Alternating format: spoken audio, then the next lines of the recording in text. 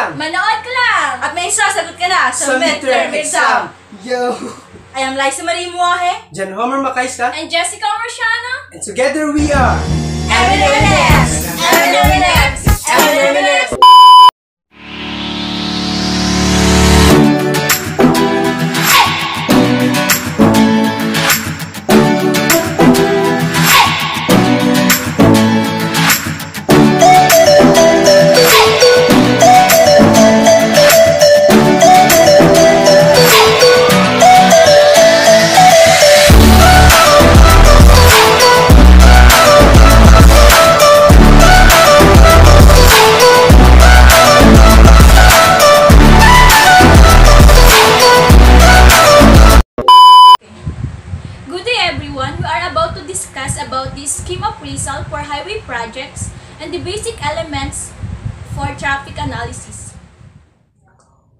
Para sa unang subtopic, ating tatalakayin ang mga sumusunod. Economic appraisal of highway schemes, cost-benefit analysis, at under nito ay ang mga identifying the main project option, identifying all relevant costs and benefits, economic life, residual value, and discount rate.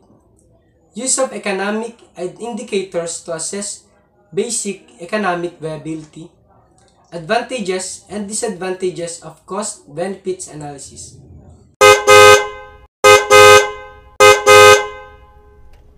Economic appraisal of highway schemes.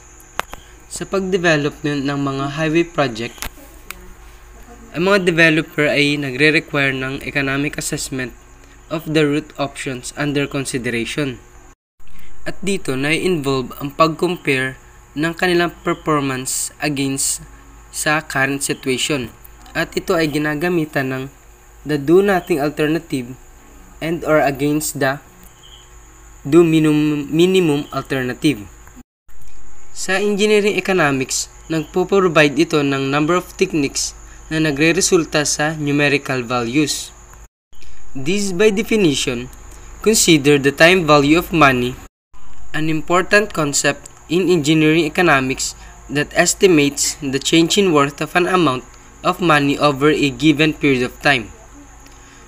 There are some common measures of worth, and those are the net present value or the NPV, benefit cost ratio, and the internal rate of return. Sa economic analysis, there are financial units and those are pounds, euros, and dollars na ginagamit bilang tangible basis of evaluation. So, what is CBA or cost benefit analysis? Within Europe, the method usually adopted for the economic evaluation of highway schemes, termed cost benefit analysis, utilizes the net present value technique where the costs and benefits of the scheme are discounted over time so that they represent present day values. Paggamit ng method na ito, kahit anong proposal na merong positive net pres present value ay nagiging economically sustainable. The next one is identifying the main project options. Ito raw pag-identify ng main project option ay fundamental step para sa CBA process or cost benefit analysis process kung saan ang mga decision makers ay nagko-compile ng mga listahan ng mga relevant feasible options. Maraming procedure at pag-identify ng project option. Isa na rito ay ang paggamit ng personal experience ng mga decision maker at ang ibang eksperto sa highway engineering field. Then, making comparisons between the current decision problem and ones previously solved in successful manner. The last one is examining all relevant literature. Some form of group brainstorming session can be quite effective in bringing viable options to light. Itong brainstorming ay nagkukonsist siya ng dalawang phases. Ang unang phase ay ang group ng people na kung saan sila ay nasa relaxed environment at kahit anong kanilang idea ay pwedeng gamitin sa pag-solve ng problem. Tapos yung second phase naman ay nagre-require siya ng planning engineer to return to normal judgmental mode to select the best options from the total list. Identifying all relevant costs and benefits. The application of cost benefit for project assessment in the highway area is made more complicated by the wide array of benefits associated with a given road initiative. Some easier to translate into monetary values than others. Many of the benefits of improvements to transport projects equate to decrease in cost. The primary grouping that contains this type of economic gain is termed user benefits. Benefits of this type accrue to those who will actively use the proposed installation. This grouping includes reductions in vehicle operating cost. Ibig sabihin, kapag ginamit daw itong new upgraded project, ito ay nagli-lead sa lower levels of congestion and higher speed than on the existing roadway. Kadalasan, nagre-resulta ito sa lower fuel consumption and lower maintenance costs. The next one is savings in time. Ibig sabihin, pag-upgrade ng highway installation, installation ay nag-reduce daw siya ng travel time as well as improving the reliability of transport services. Dahil na rin sa ayos ng daloy ng trapiko, nababawasan ang time travel na ating ginagamit. Lastly is the reduction in the frequency of accidents. Dito sa accidents, merong types ng damage na dapat i-consider. At yun ay ang property damage, personal injuries arising from serious accidents, and fatal accidents. Itong property damage ay ang pinakamadaling ma-measure in money terms. The cost of serious but non-fatal accidents is much more difficult to assess. Medical cost and the cost of lost output and personal pain and suffering constitute a large proportion of the total valuation. Economic life, residual value, and the discount rate. Itong mga highway project kadalasan ay complex at pangmatagalan.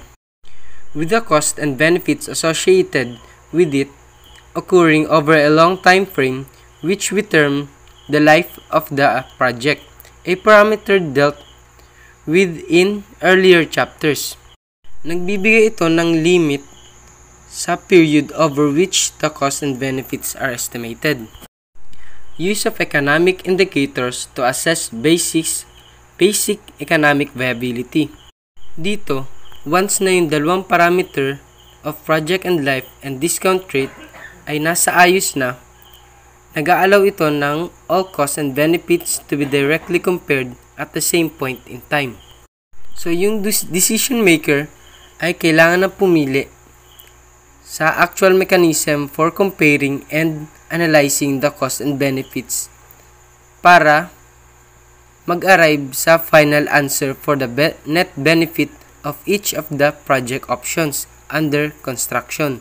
Other consideration. So, yung tatlong technique kanina na nakalista ay pwede ring magamit sa purpose na ito. At yun ay ang net present value, internal rate of return, and benefit cost ratio. So, yung net present value ay it will estimate the economic worth of the project in terms of present worth of the total net benefits. Then, the IRR will give for each option under consideration the rate of which the net present value for it equals 0. Samantalang itong benefit cost ratio naman ay based on the ratio of the present value of the benefits to the present value of the cost. All three methods depend on discounting to arrive at a final answer.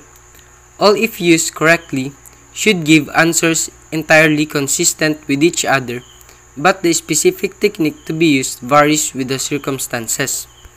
So, syempre, merong advantages and disadvantages itong CBA or cost-benefit analysis.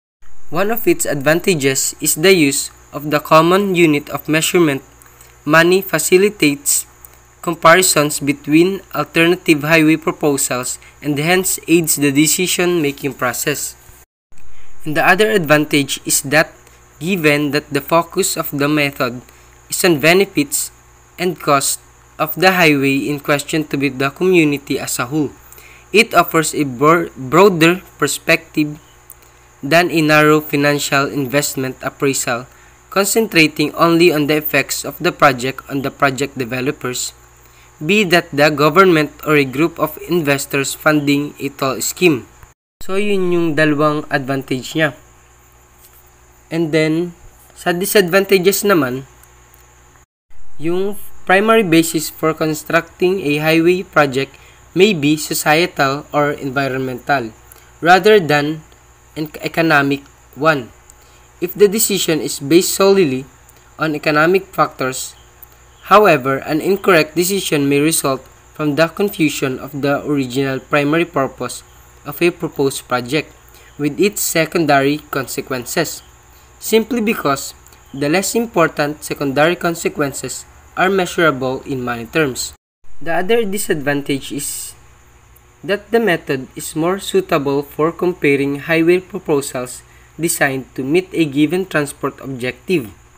At isa pa sa mga disadvantages niya ay some limited recognition may be given to the importance of cost and benefits that cannot be measured in monetary terms.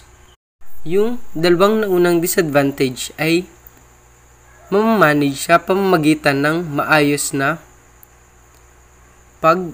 pag-employ ng experience at competent decision upang masiayos, masaayos ang cost-benefit framework. Sa pagpapatuloy ng ating talakayan, akin namang ibabahagi ang mga kaalaman tungkol sa payback analysis, environmental appraisal of highway schemes, and new approach to appraisal. Ang payback analysis ay isang pamamaraan na naglalayong makatulong sa pagsusuri ng isang panukala tulad ng mga highway projects na pribadong pinondohan. Sa ganitong case, they put toll gates in place kung saan ang mga motoristang dumadaan dito ay nagpapataw o nagbibigay ng kanilang bayad o ang tinatawag nating mga tolls upang mabawi o may balik yung gastos na ginamit sa pag-construct ng daang ito. Ipagpalagay na ang pamamarang ito para sa pagsusuri sa isang proposal ay makapagbigay o makalikha ng daloy ng pera na pumapasok during its economic life, then, at some point, yung kabuang halaga na makokolek will be exactly its initial cost. Sa analysis na ito, may tinatawag tayong payback period. Ito yung time taken para yung equalization ay mangyari. Itong pamamarang ito ay mas applicable sa mga projects kung saan yung time scale niya ay medyo maikli para sa equalization. The reason being, the longer the money is tied up, the less opportunity there is to invest it elsewhere. The payback period is a very simple calculation. However, it does have its drawbacks. Yung karaniwang mga problems na nararanasan dito ay gaya ng incorrect assumptions. What if yung cash flow expectations are wrong? Or the numbers suddenly fluctuating from year to year? What if the facilities being used needs unexpected upgrade? Sa mga ganyang case, it will then take longer to get back the investment. Therefore, it is best utilized as a backup technique, supplementing the information from one of the more comprehensive economic evaluation methods. While the method has certain shortcomings, it is utilized frequently by engineering economists. Its strength lies in its simplicity and basic logic. It addresses a question that is very important to the developer of a tolled highway facility, as a relatively speedy payback will protect liquidity and release funds more quickly for investment in other ventures. The following formula enables the payback period to be derived.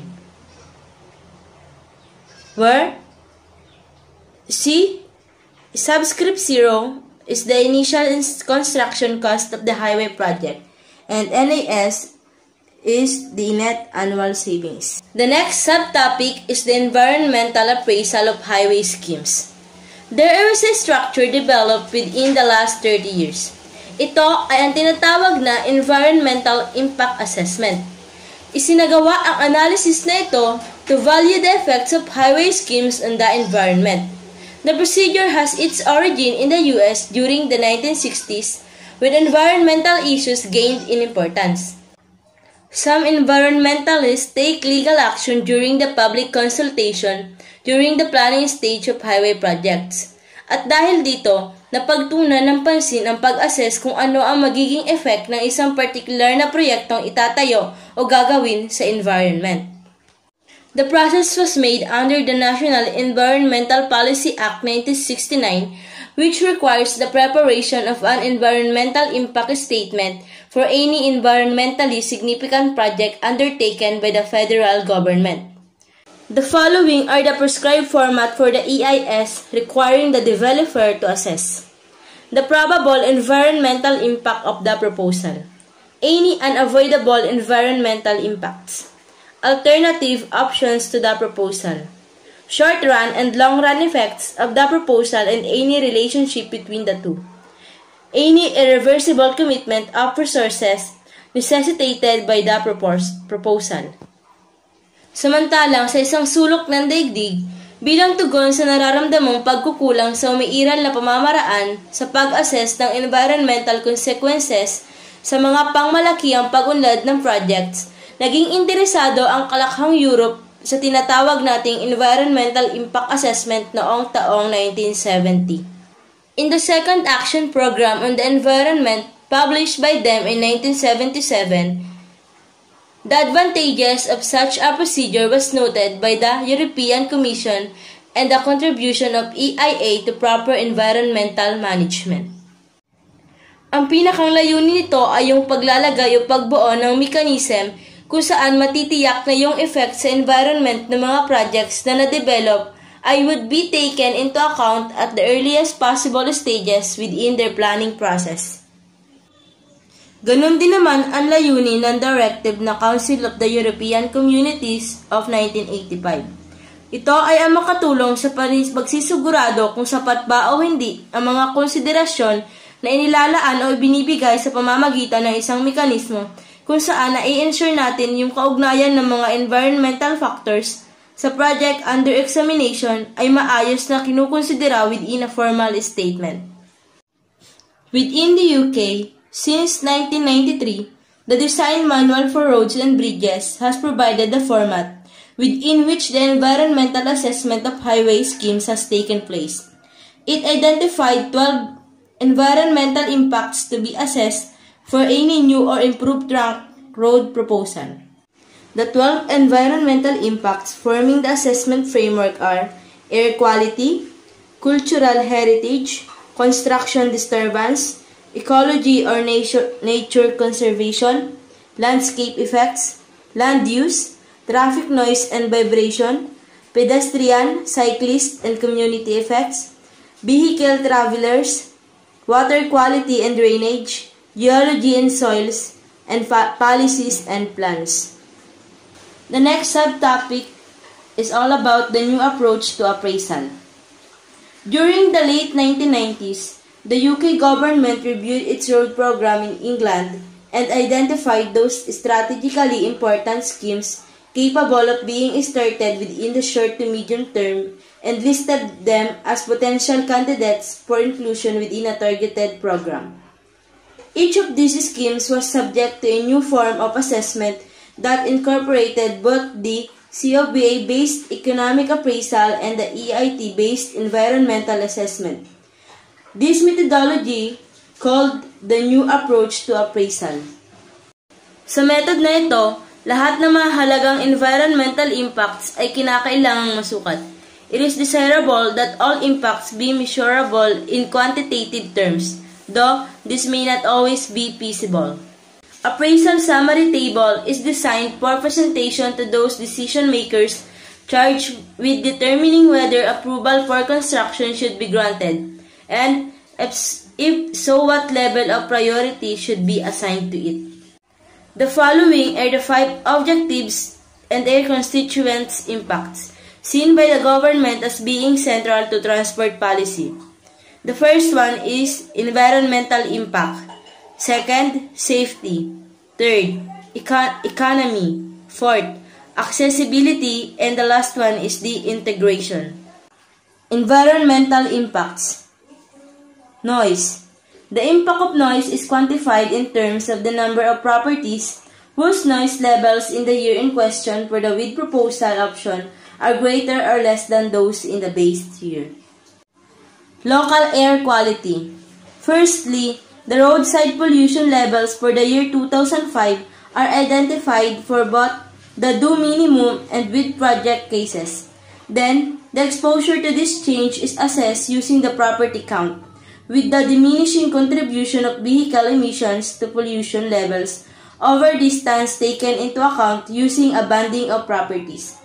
The pollution increases of those dwellings situated nearer the roadside will receive a higher weighting than increases from properties farther away under this system. Landscape New approach to appraisal describes the character of the landscape and evaluates those features within it that are deemed important by the decision maker. Biodiversity The purpose of this criterion is to appraise the ecological impact of the road scheme on habitats, species, or natural features. Heritage This criterion assesses the impact of the proposal on the historic environment. Water. In order to gauge the effect of the proposal on the water environment, a risk-based approach is adopted to assess its potentially negative impact on both water quality and land drainage. The next objective is safety. This criterion measures the extent to which the proposal improves the safety for travelers, indicating its effectiveness in terms of the monetary value, in present value terms, of the reduction in accidents brought over directly by the construction of the new or improved road. This requires accidents to be broken down into those causing death, those causing serious injury, and those resulting in only slight injury. The third objective is economy. The degree to which the proposal contributes both to economic efficiency and to sustainable economic growth in appropriate locations is assessed under this heading. Journey times and vehicle operating cost. The effectiveness of the proposal on this criterion is measured in terms of the monetary value, in present value terms, of the reductions in both journey times and vehicle operating cost brought about directly by the construction of the new or improved road. Regeneration. This evaluates whether the proposal is consistent with government regeneration objectives. The final assessment is a simple yes or no to this question based on the extent to which the road is potentially beneficial for designated regeneration areas and on the existence of significant developments within or near regeneration areas likely to depend on the road's construction. The fourth objective is accessibility. This criterion relates to the proposal's impact on the journeys made within the locality by mo modes of transport other than the private car assessing whether the proposed project will make it easier or more difficult for people to journey to work by public transport, on foot, by bicycle or other means. Under the accessibility is pedestrians, cyclists, and equestrians. This sub-criterion relates to the proposal's impact on the journeys made within the locality on foot or pedestrian, by bicycle or cyclist, or by horse or equestrian. The assessment should be based on the year of opening, taking typically daily conditions. Access to public transport. The extent to which access to public transport by non-motorized modes is affected by the proposal assessed within this heading. The last and final objective is the integration. This criterion assesses in broad terms the compatibility of the proposal with land use and transportation plans and policies at local, regional, and national level. Ngayon, ay dumako naman tayo sa ikalawang topic, ang basic elements of traffic analysis. Aking tatalakayin ng ilan sa mga elemento nito. Ito ay ang mga speed, flow, and density of a stream of traffic, speed density relationship, flow density relationship, speed flow relationship. First subtopic is speed, flow, and density stream of traffic.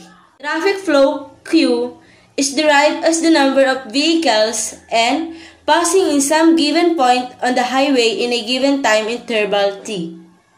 In general terms, Q is expressed in vehicles per unit time. The number of vehicles in a given section of highway can also be computed in terms of density or concentration of traffic as follows. Where K is the traffic density, N measure of the number of vehicles, and L is the occupying length of a roadway. The second subtopic is the speed density relationship. The speed density relationship is linear with a negative slope. Therefore, as the density increases, the speed of the roadway decreases. The line crosses the speed axis y at the free flow speed and the line crosses the density axis x at the jam density. Here, the speed approaches free flow speed as the density approaches zero. As the density increases, the speed of the vehicles on the roadway decreases.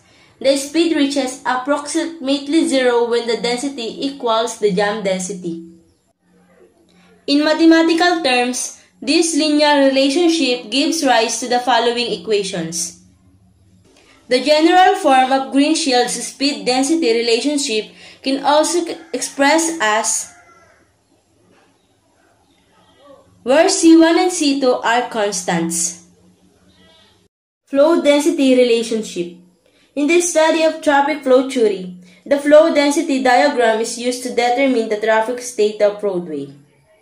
The triangular curve consists of two vectors. The first vector is the free flow side of the curve.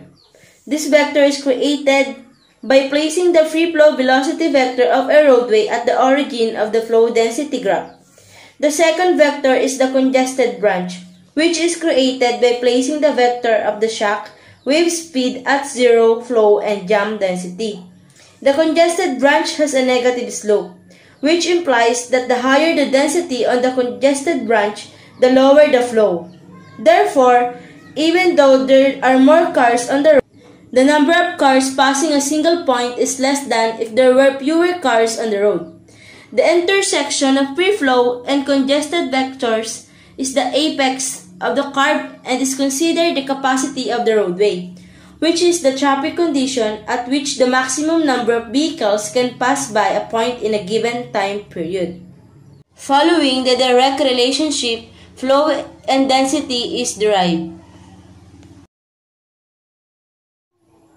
In order to establish the density at which maximum flow occurs, since U sub F is not equal to 0, the term within the brackets must equal to 0. Therefore, Km, the density at maximum flow, is thus equal to half the jam density Kj. Speed flow relationship. Speed flow diagrams are used to determine the speed at which the optimum flow occurs. The speed flow curve also consists of two branches, the free flow and congested branches. The diagram is not a function, allowing the flow variable to exist at two different speeds. The flow variable exist existing at two different speeds occurs when the speed is higher and the density is lower, or when the speed is lower and the density is higher, which allows for the same flow rate. The speed flow diagram is a parabola. The parabola suggests that the only time there is free flow speed is when the density approaches zero. It also suggests that as the flow increases, the speed decreases. This parabolic graph also contains an optimum flow. The optimum flow also divides the free flow and congested branches on the parabolic graph. In order to derive this relationship, the linear relationship is rearranged. By combining this formula, the following relationship is derived. In order to find the speed at maximum flow, since the density at maximum flow is not equal to zero, the term within the brackets must equal to zero. Therefore, U sub m, the speed at maximum flow, is thus equal to half the free flow speed U sub F. For the continuation, determining the capacity of highway, the level of service approach as its introduction and some definitions. Another is maximum service flow rates for multi-lane highways, the maximum service flow rates for two-lane highways, sizing a road using the highway capacity manual approach, and estimation of AADT. Determining the capacity of highway. A highway capacity, it is the amount of vehicles and passengers that a road accommodate. There are two approaches used to determine the capacity of highway. First is the level of service approach and the second is used in Britain which is puts forward practical capacities for roads of various sizes and with carrying different types of traffic. Let's focus on level of service approach. It describes the operation conditions from the viewpoint of the road user terms of travel time and traffic speed, freedom to maneuver or traffic interruption. Ang principal factor nito ay ang speed flow density na nangyayari sa highway. Nagkaroon ng 6 level of service ranging from A as the best to F which is the worst. Ang Highway Capacity Manual sorry it's typo, it should be Highway Capacity Manual from TRB 1985 in the US. The first level of service is Service A. This represents free flow condition where traffic flow is virtually zero. Only the geometric design of the features of the highway. The geometric designs is about the design of the road elements. It can be influenced by the characteristics of the vehicle, behavior of the driver, traffic volume, and traffic speed. So the comfort and convenience levels for road users are very high as vehicles have almost complete freedom to maneuver. Dito, imagine nyo yung isang kalsada na napakaunti lang ng mga sasakyan na dumadaan. Dito, nangyayari yung service A. Walang mangyayaring traffic, walang mabigat na traffic volume or traffic speed, and that kind of service. For service B, represents reasonable free flow condition. The comfort and convenience levels for road users are still relatively high as vehicles have only slightly reduced freedom to maneuver. And then, minor accidents are accommodated with ease although local deterioration in traffic flow conditions will be more discernible than in a service A. Ang pinagkaiba ng service B from service A ay meron ng minor accident and also nadadagdagan na yung mga sasakyan. For service C, stable flow conditions represent while minor's incident will result in the formation of chaos, and the speed chosen by the driver is substantially affected by that of the other vehicles, and the comfort and convenience have decreased perceptibly at this level. So at this level, na-reduce na yung performance ng highway. Kasi mas marami ng sasakyan na dumadaan unlike dun sa dalawang service na nauna. And there are marked restrictions in the ability of maneuver. And kailangan talaga ng pag-iingat kapag nagbabago ng lane sa kalsada. Kasi marami ka nang nakakasalubong at marami ka nang kasunod na mga sasakyan. For service D, the highway is operating at high density levels but stable flow still prevails. And flow levels will result in significant with operational difficulties on the highway. Mayroon ng mga severe restrictions sa driver's ability to maneuver and the comfort and convenience is at poor level. At this service, mas marami ng mga sasakyan na dumaraan at mas mabigat na ang daloy sa highway. Hindi na siya katulad ng mga naunang tatlong service na papatiks-patiks lang dito, talaga ay nasa poor level of convenience and comfort na siya. Next, service E represent the levels at which the capacity of the highway has been reached. Traffic flow condition best described as unstable with any traffic incident causing queuing and even breakdown. The level of comfort and convenience are at very poor state. So the traffic speed are all relatively uniform. Flow conditions are getting worse. Ito ay mainly na nangyayari sa Manila, lalo na kapag mga work hours, talagang sabay-sabay yung mga sasakyan.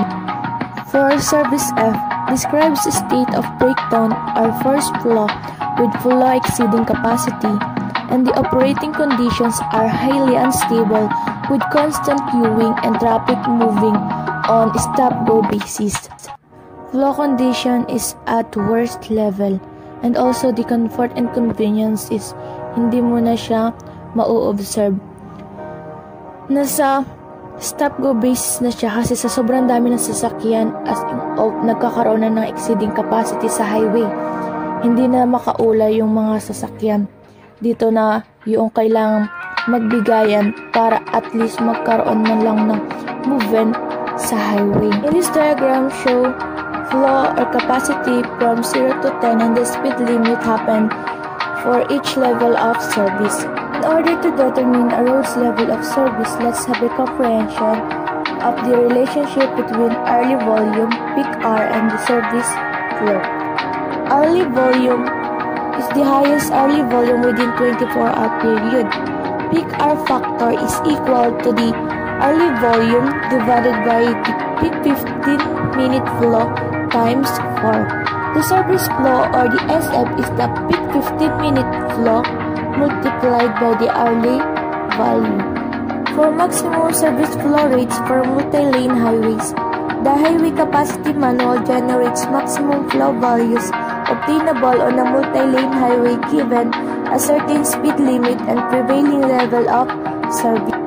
For ideal condition of maximum service flow rates is equal to C sub j times quantity V over C times N, where C sub j is the capacity of a standard highway lane for a given design speed J times the volume by capacity ratio, which is the V over C, and N as the numbers of lane in each direction. In this table, this is the standard values of capacity of a standard highway lane for a given design speed. For an ideal condition, service flow rate is equal to C sub j times V over C times N times F of W times F of HB times F of P times F of E, where SF sub I is equal to the service flow rate, C sub j is the capacity of standard highway lane for a given design speed J, V over C sub I is the volume by capacity ratio, N is the number of lanes in each direction, F sub W is the adjustment factor, and F sub HB is the resulting reduction in capacity. In this table, it is the standard value for the maximum ratios of flow to capacity for each level of service and design speed limit. Magagamit natin ang mga table nito kapag tayo ay na ng mga problem. At ito namang table 4.3, ito ay yung mga values sa adjustment factor for non-ideal condition. Andito yung mga distance of obstruction from travel, edge, lane width, the lane width in meter, and the obstructions on both side or the one side of the road.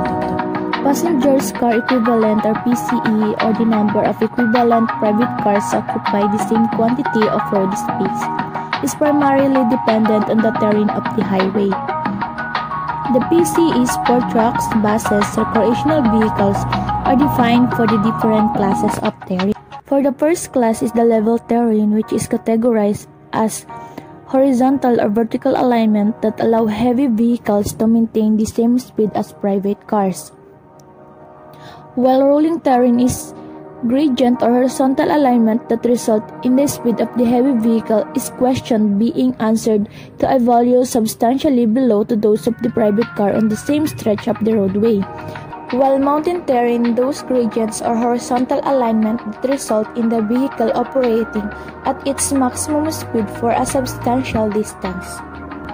Those terrains are described according to the capacity of vehicles and to maintain the speed of the different mode of transportation. This table is for the correction factor and for the different type of terrain.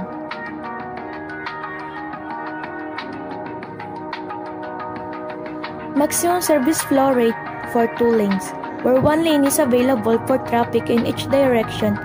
A two-lane highway applies. This maneuver is therefore subject to geometric constraint, most noticeably passing slight distance, but also the terrain of the stretch of road question.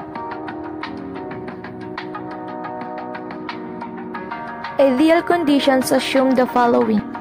For the non-ideal condition, the capacity of the highway reduces from 2,800 PCU per hour based on the following equation. Sizing a road using the highway capacity. When sizing a new roadway, a desired level of service is chosen by the designer. This value is then used in conjunction with the design traffic volume in order to select an appropriate cross-section for the highway. Design hourly volume or DHB is equal to K sub i times AADD where K sub i is the 8th highest annual hourly volume while AADT is the annual average daily traffic.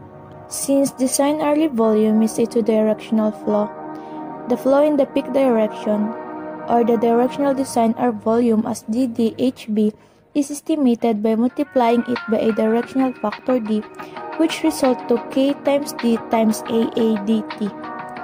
This table show a flow ranges from different classes of rural highway where carriageway type as is AADT range and the quality of access.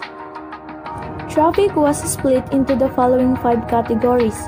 The cars, which include taxis, minibuses, and camper vans, light good vehicles or LGVs, other good vehicles or UGV1, other good vehicles UGV2, buses and coaches or PSB, which are buses and minibuses with the capacity for more than 6 passengers. Okay, let's do some sample problem for maximum service flow rate in multi-lane highway. First problem is a rural divide 4-lane highway has a peak hour volume in one direction of 1,850 vehicles per hour. Ideal conditions applied. Therefore, there are no heavy good vehicles, buses, or recreational vehicles in the traffic. The peak hour factor is 0.8. The design speed limit is 70 meter per hour. Determine the level of service being pro provided by the highway. For the solution, the given are hourly volume during the peak hour, which is 1,850. Peak hour factor is 0.8. Service flow rate is equal to V over P of H direct substitution to the formula, the service flow rate is 2,312.5 vehicles per hour. Number of lanes in each direction is 2. So derived from the formula, we will get the volume by capacity ratio, which is the service flow rate divided by the capacity of a standard highway lane for a given design. So the volume by capacity ratio is 0.58. Therefore, the ratio of flow to capacity is greater than 0.54 but less than 0.71. So the highway thus provides level of service C. Next problem. A two-lane highway has lane widths of 9 feet or 2.75 meter. Clear hard shoulders. There are no passing zones along 40% of its length. The directional split is 70 over 30 in favor of the peak direction. The percentage for the various heavy vehicle types are For the solution, since the road is operating at capacity, the level of service is assumed to be E. Therefore,